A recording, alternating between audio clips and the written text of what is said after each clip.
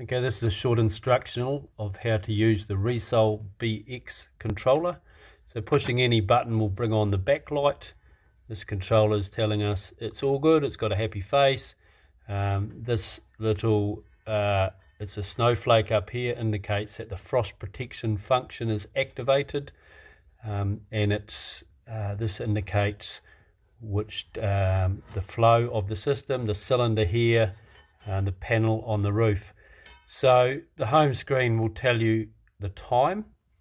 To edit the time, uh, we push and hold the center button and then we can edit with up and or left and right of the rows.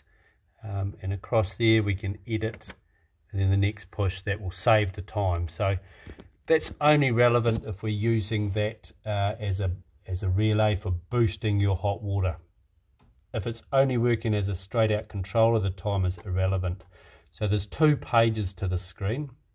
Um, there's the time page and a press on either of these buttons will take you to the, the temperature reading pages. Uh, so here T-Col, which means temperature of collector. Uh, and we have a flashing indicator lollipop up the top here to show an indicator of the collector. Um, irrelevant for what for general operation, but this is how the system works. When it's 10 degrees warmer uh, on the, or 8 degrees warmer on the roof than the bottom of the tank, the pump will come on. Um, so either the down button or the down button will go, take us to TSTB or temperature storage bottom. So you see the little indicator there at the bottom of the cylinder. It's 20.8 degrees. It's in the morning. Uh, this hasn't heated up.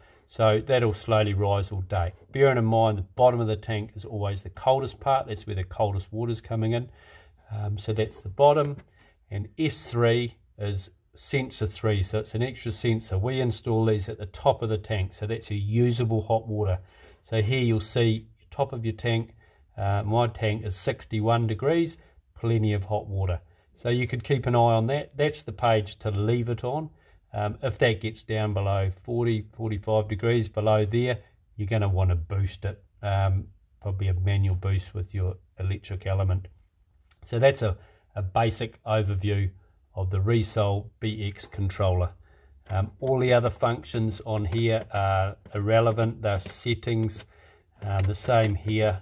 Um, so don't touch any of those. Um, all good.